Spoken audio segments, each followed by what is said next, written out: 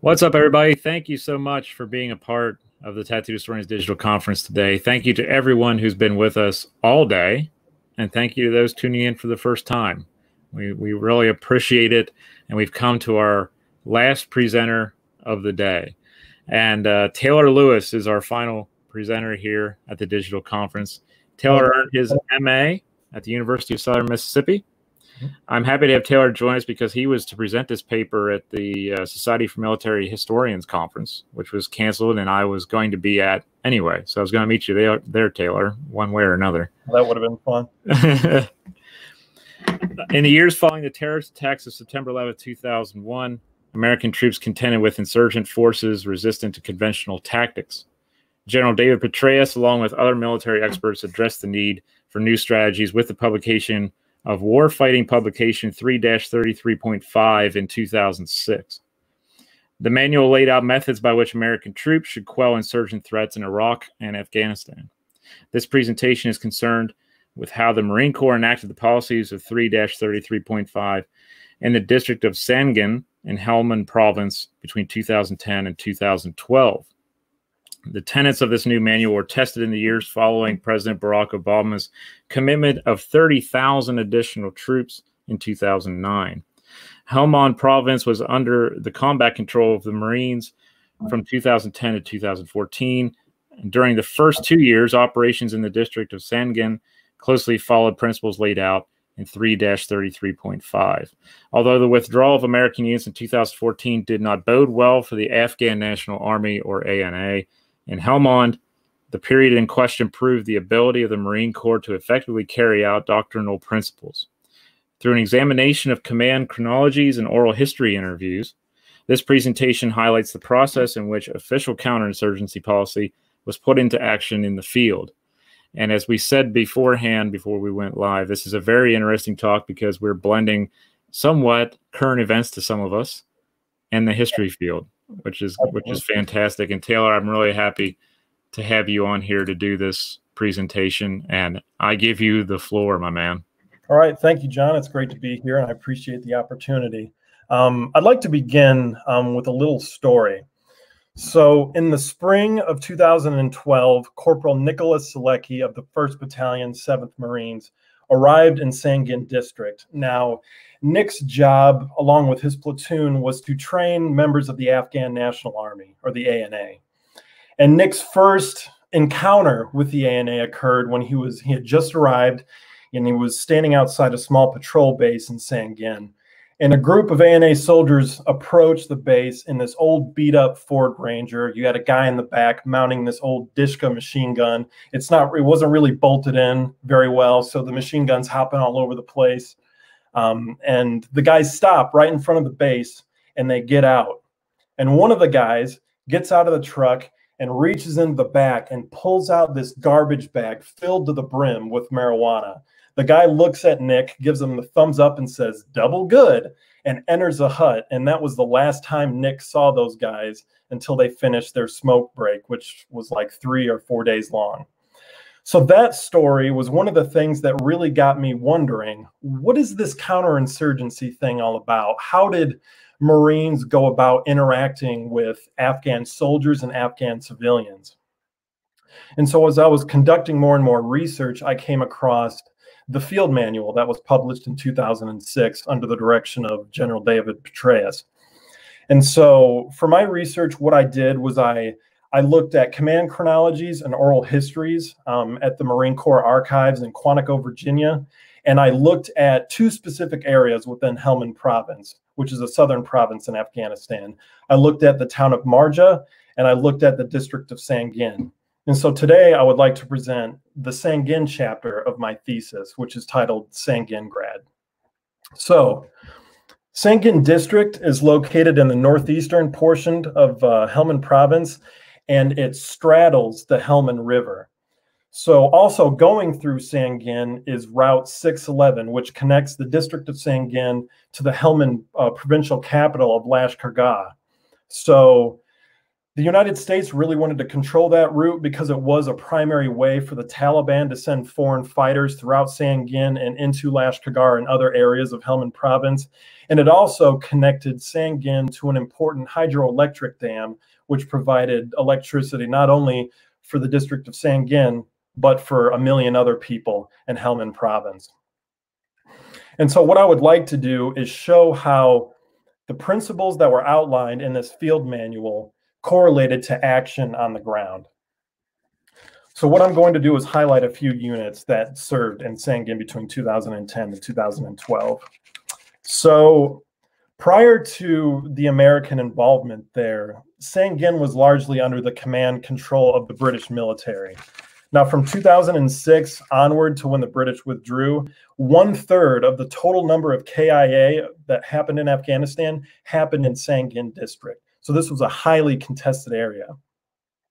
And so the first American unit to arrive in Sangin, uh, they arrived in July 2010, and that was the 3rd Battalion, 7th Marines. Now, counterinsurgency largely occurs in phases. Um, if you do any research into the subject, you'll often find, especially when uh, modern counterinsurgency is talked about, you'll find the uh, aspects of clear, hold, and build. Now, the 3 7, their mission was to establish a perimeter around the district of Sangin and to kind of weed out the large pockets of Taliban fighters that were in the area.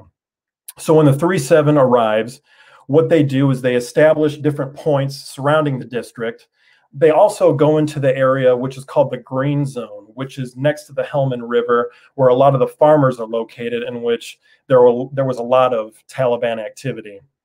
So they would do things like setting up ambush positions, set up their own small patrol bases. They would also try to clear improvised explosive devices or IEDs with tanks with large forks on them. And another company, I Company, was also established to the other side of the river. So not in Sangin, but to the west of it. And they established what were pretty much foxholes. And they what they did was prevented large numbers of Taliban fighters from entering um, the province. And so that's what they primarily did for the majority of their deployment was to hinder large groups of Taliban from entering um, the province. So another battalion, Battalion 3-5, um, arrived in October of 2010. Now, this deployment was focused primarily on establishing a constant presence. And one of the most important tenets of the manual, which I'll read here, is addresses that, that concept. So it reads A Marine force assigned an area security mission during a COIN operation executes it as a combat operation the force establishes and maintains measures to protect people and infrastructure from hostile acts or influences while actively seeking out and engaging an insurgent force. So basically, what they're doing is making their presence known. And this is done by patrolling, constant patrols, day in, day out. You're out there, boots on the ground, making your presence known to people. Um, just a little bit of data one platoon um, and K Company of the of the battalion. In the six months that they were there, they conducted 400, 400 patrols and were engaged 171 times. So that right there illustrates just the degree to which the Taliban was active and how and how much they wanted to hold on to the district, but the Marines were determined to make their presence known to the civilians. One of the interviews that I used for this chapter um, was Nick Anderson, a Marine from Michigan who served with a 3 5. And he describes a typical day in Sangin. They would patrol, and a typical patrol would last about two hours. And in that time, they would move an average of 50 feet. It was a turtle's pace. But they're trying to, you know, win favor of the civilians. And as far as the civilians were concerned, the Taliban and the civilians were connected you know you, it wasn't always clear if someone was a civilian by day and a taliban by night or what was going on. So the taliban had a lot of connections with the civilian populations and what they would try to do is pass disinformation about the marines. You know for example nick was told that you know the civilians thought that the 3-5 was going to come in harm civilians cut the heads off of children and things like that, which were obviously not true. But unless they made their presence known, they wouldn't be able to prove otherwise. And so, one of the things that changed the more the 3 5 went out is that the civilians started to they started to be a little more active. They would go through markets at the beginning of the deployment. They wouldn't see many civilians, but towards the end, you know, they were interacting much more with them. So, in the summer of 2011, another battalion deploys to Sangin, and it's the 1st Battalion, 6th Marines. Now, what I'd like to highlight with the 1 6 is the idea of shuras. Now, what shuras were were meetings between Afghan village elders and Marine officers. So, a typical shura for the 1 6 included you know, you, you find a building, you have village elders come in, you have the officers meet them. You know, the, the elders would express their concerns that they had about the Marines. They would always they would also express different things that they needed done. Like, for example, if they needed more access to water, they would request that the Marines construct um, you know a well or something like that. They would also you know elicit the help of different civil affairs teams within the United States military.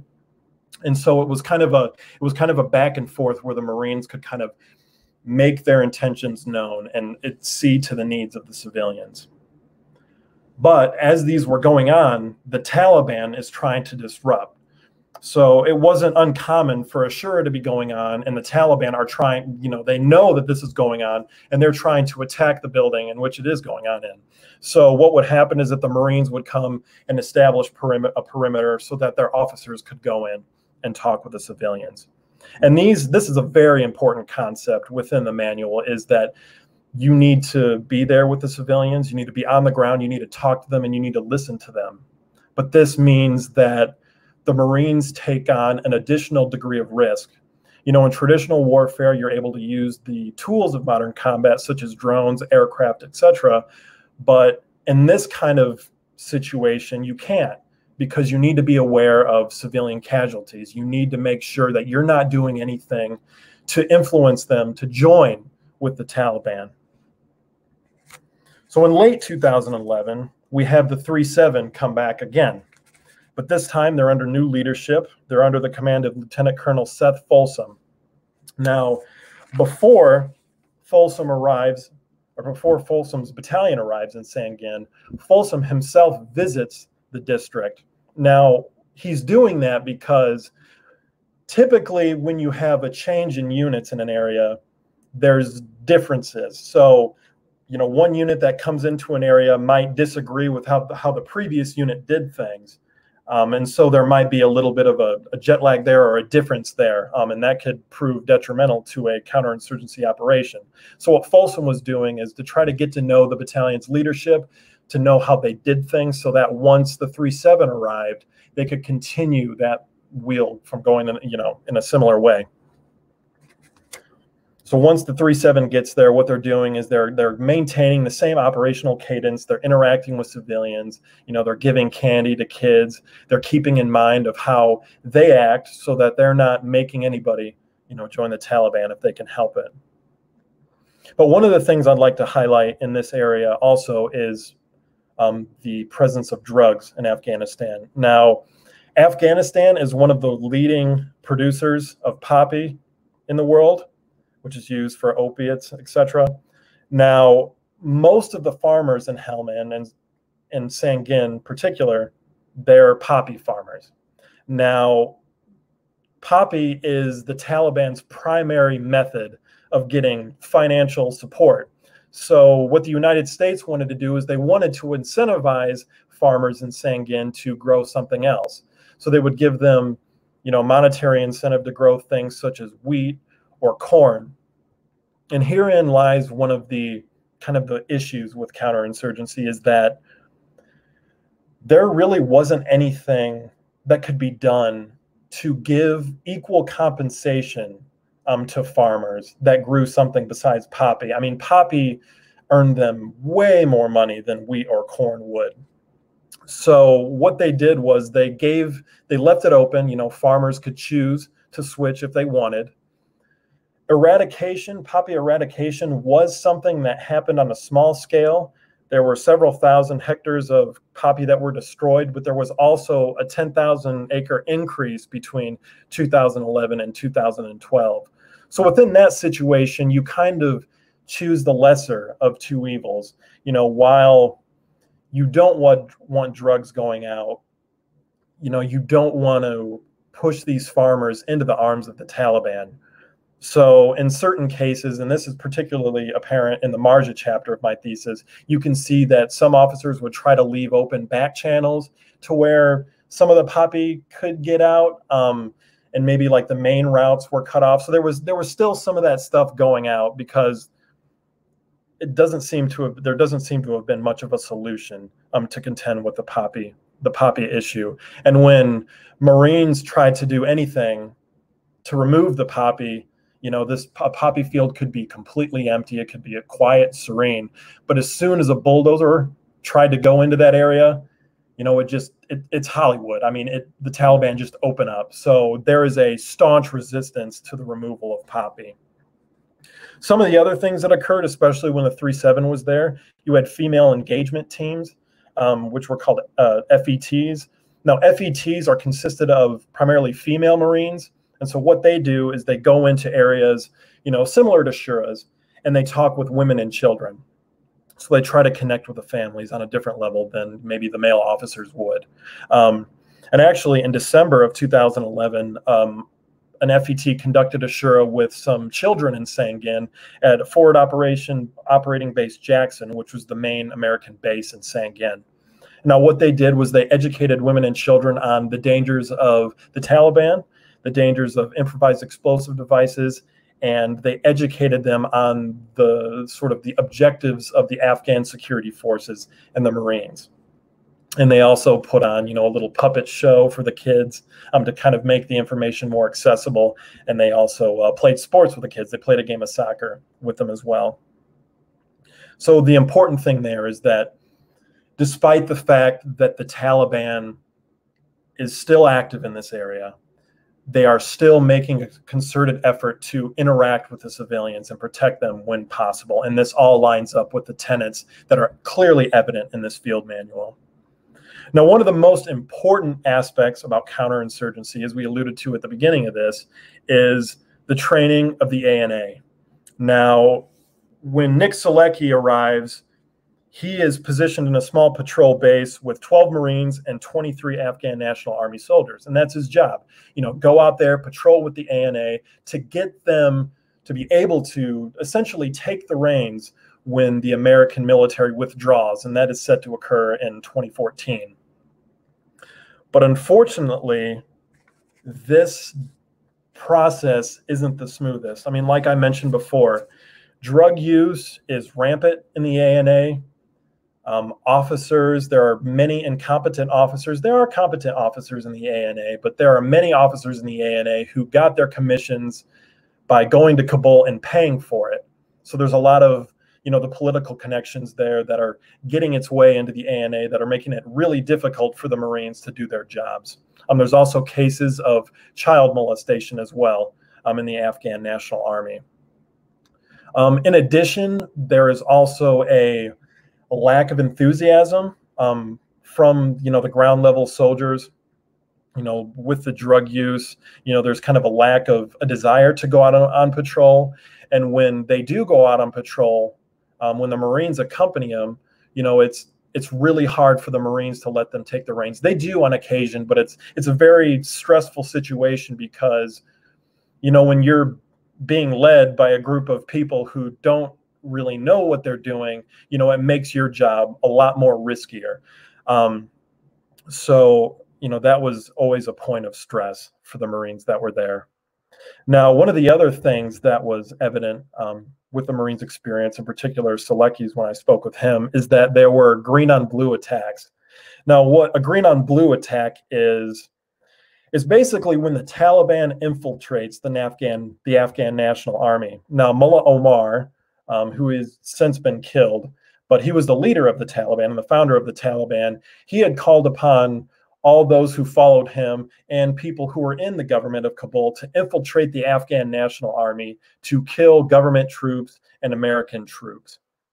So in 2012 alone, throughout Afghanistan, 61 um, Afghan soldiers and American soldiers were killed and 81 were wounded in these instances of Taliban infiltration. So you can imagine, you know, being, you know, on the ground in the ANA and in the, in the Marines, that you have to be concerned with not only the Taliban, but you have to, you know, be on guard all the time because you don't know if, you know, somebody in your own unit is going to turn out to be, you know, a Taliban infiltrator. So those were all interesting things, you know, that I found in that. So all of this stuff, you know, the point of my paper is to show that all of these things that are working against the Marines, you know, you have the the 2014 looming withdrawal date and you have the lack of enthusiasm with the Afghan National Army and their ultimate failure to properly prevent the Taliban from taking over once the Americans leave. All of this kind of overshadows um, the fact that the Marine Corps executed their counterinsurgency operations by the book. So my question was, is that was this policy able to be implemented in the field? And the answer to that is yes. But unfortunately, there were factors beyond the control of the Marines, um, beyond their control, that were sort of actively working against them. And so, you know, once the Americans withdraw in 2014, they um, the Taliban quickly starts to retake the territory, and the you know the battle for the heart of Afghanistan even continues continues today. So thank you. And I'm ready to take any questions. Awesome. Thank you, Taylor. I really appreciate that. Uh, the one thing that uh, I did mark down while you were talking was when you were talking about the poppies and uh, poppy fields. And all I wrote was quagmire because oh, yeah. you destroy the poppies, you anger the civilian population. You keep the poppies, you help fund the Taliban. Right. Yeah. And, and one of the difficulties, I mean, any of the points that I explore in this project can be expanded on in a book of its own. Mm-hmm.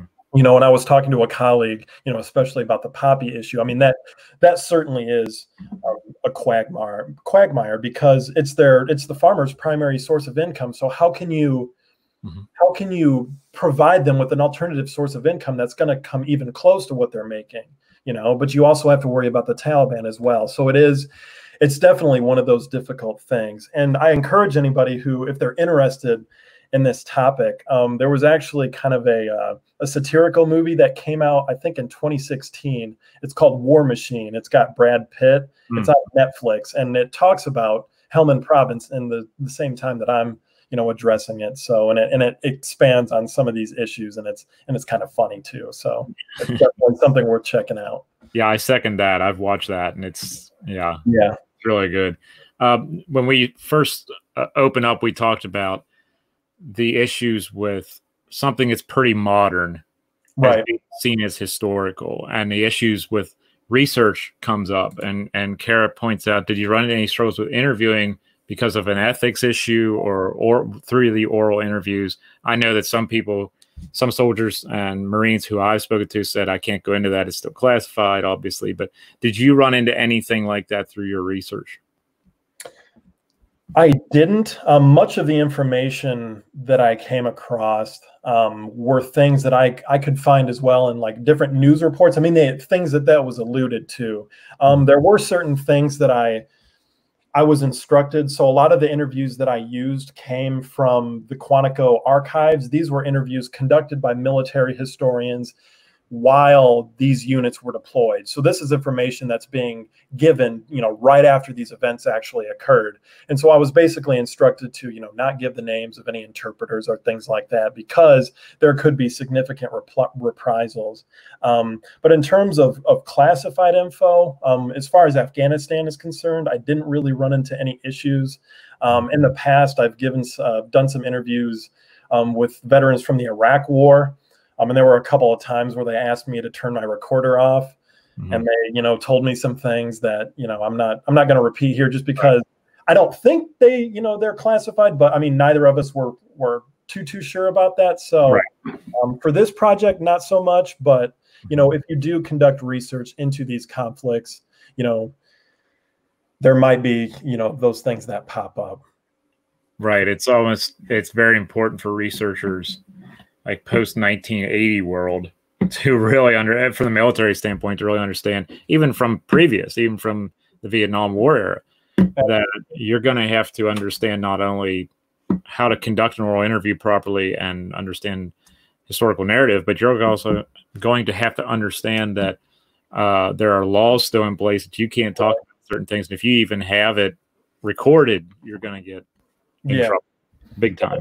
I said, I mean, like the historiography of these conflicts is it's still in, it's still it's in in its infancy. Excuse me. Wow. Um, and in Afghanistan in particular, I mean, the area that I'm looking at was really when significant numbers of American troops began to arrive. I mean, in the early days of the conflict, I mean, we were primarily concerned with getting Al Qaeda, um, and it sort of evolved from there. Um, you know, in the 2005 2006 era, a lot of what was going on there was basically hunting for Al Qaeda operatives. So they're looking for tier one targets. So I can only imagine telling the story of those years is going to be incredibly difficult because you're looking at you know tier one operators like Delta Force, SEALs, and it's really hard to find anything right. about those guys.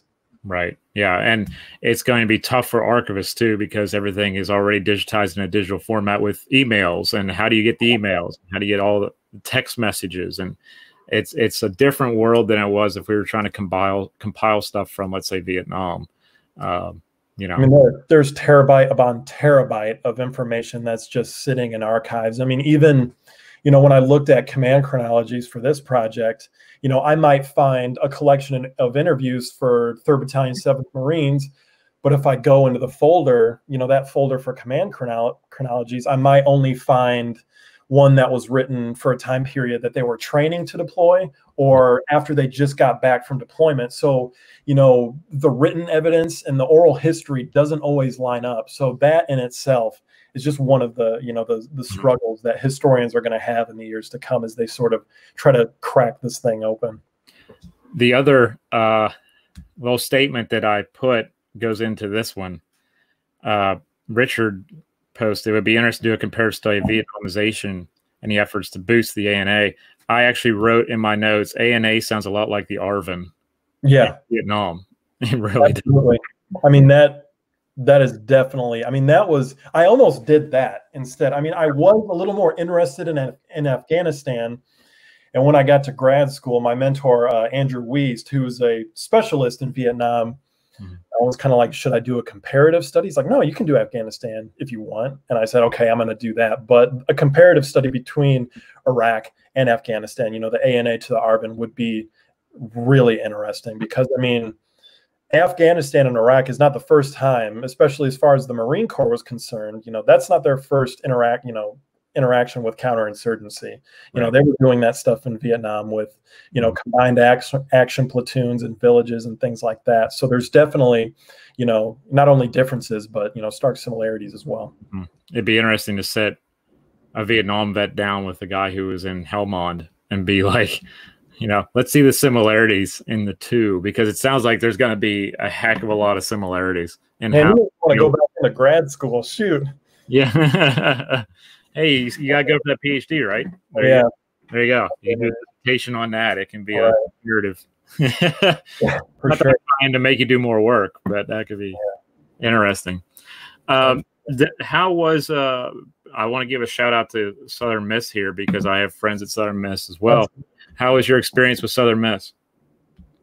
I mean, Southern Miss is a great place. I mean, the people that work in that history department are rock stars. I mean, the you know, not only you know, I had and Dr. Andrew Wiest, Dr. Heather Stur, Dr. Brian LaPierre, Dr. Su- uh, Susannah Ural, all helping me out with my project, but there are many more um, historians there that are are working with you know they're working with their own stuff which is amazing and they're also working with some extraordinary grad students who are doing some pretty cool stuff of their of their own so um, it is kind of sad to be leaving. I'm going to miss those people, but uh, I'm sure you know if a lot of you follow you know the academic field of history, you're going to be hearing about um, a lot of these people if you haven't already. Oh yeah, oh yeah, and. Uh, uh, Susannah Ural invited me down to check out the campus and then go to Vicksburg. So I gotta, yeah. I gotta make that a thing in the future because I'd right.